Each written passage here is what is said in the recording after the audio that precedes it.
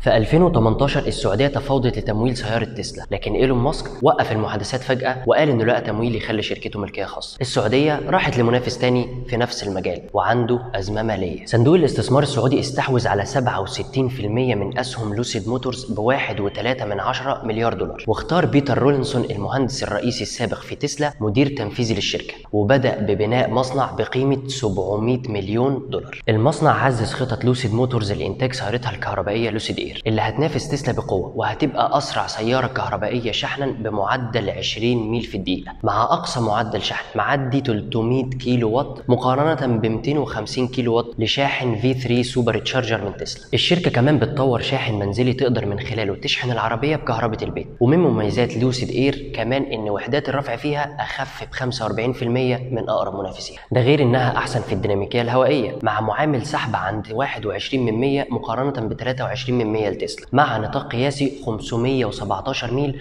أعلى من تسلا ب 28% تفتكروا تقدر Lucid Air تزيح تسلا من على عرش السيارات الكهربائية في العالم؟